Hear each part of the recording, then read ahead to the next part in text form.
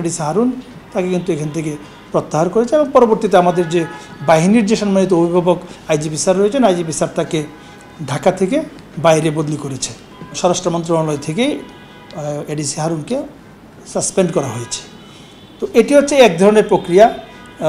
আচ্ছা, এই ক্ষেত্রে কমিশনার স্যার নিজে গতকালকে আহত যেই ছাত্রলীগের যে নেতা নাম হচ্ছে নাইম তাকে কিন্তু কমিশনার স্যার দেখতে গিয়েছিলেন।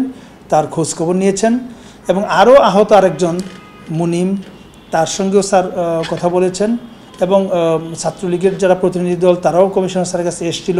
তারা তাদের দুঃখ, বেদনা, ক্ষোভ, দাবি দেওয়া, তাদের অনুভূতি, সেগুলো কমিশনার স্যারের কাছে ব্যক্ত করেছেন এবং কমিশনার স্যার সেগুলি শুনেছেন এবং এটার সমাধানের জন্য যা যা ব্যবস্থা গ্রহণ করা প্রয়োজন, সকল ব্যবস্থা গ্রহণ করেছেন এবং এই ঘটনার জন্য পুলিশের যারা যারা দায়ী প্রাথমিকভাবে যাদেরকে শনাক্ত করা গিয়েছে কমিশনার স্যার কিন্তু ইতিমধ্যেই দুইজনের বিরুদ্ধে ব্যবস্থা গ্রহণ করেছেন। এবং তাৎক্ষণিকভাবে আমরা আমরা কিন্তু কেউ দাবি করার পূর্বেই কমিশনার স্যার কিন্তু একটি তদন্ত কমিটি গঠন করেছেন। তার মানে এই ঢাকা মেট্রোপলিটন পুলিশ এই ধরনের অপেশাদার কোনো কাজকে প্রশ্রয় দেয় না বলেই কেউ দাবি করার পূর্বে কমিশনার স্যার নিজেই সুমোটো একটি তদন্ত কমিটি গঠন করেছেন, তিন সদস্য বিশিষ্ট। এবং তদন্ত কমিটিকে ওই সময় স্যার দুই দিনের মধ্যে তদন্ত প্রতিবেদন দাখিল করার জন্য নির্দেশ দিয়েছিলেন। যাই হোক, পরবর্তীতে এটি তদন্ত কমিটি, তদন্ত কমিটির কাজ করছে এবং আমি যতদূর জানতে পেরেছি, তদন্ত কমিটি এখন পর্যন্ত তাদের ভালোভাবে তাদের তদন্ত কার্যক্রম এগিয়ে নিয়ে যাচ্ছে এবং তারা আমাদের সম্মানিত পুলিশ কমিশনার স্যারের কাছে আরও পাঁচ কার্য দিবস। তাদের তদন্ত কার্যক্রম সুষ্ঠু, নিরপেক্ষ এবং একেবারেই একটা ফ্ললেস তদন্ত তদন্ত প্রতিবেদন যেন দাখিল করতে পারে, সেজন্য পাঁচ কার্য দিবস সময় চেয়েছে এবং কমিশনার স্যার সেটা এন্ডোর্স করেছেন। তারা এখন পর্যন্ত তাদের তদন্ত কার্যক্রম ভালোভাবেই চালিয়ে যাচ্ছে।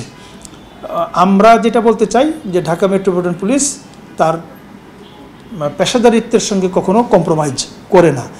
আমার এই সংগঠনের, ঢাকা মেট্রোপলিটন পুলিশের যে এই সংগঠনটির কোনো সদস্য যদি অপেশাদার কাজে লিপ্ত হয়, তাহলে তার পরিণতি আইনের মাধ্যমে যতটুকু নেওয়া প্রয়োজন, সেই পরিণতি কিন্তু তাকে মানে ফেস করতে হয়।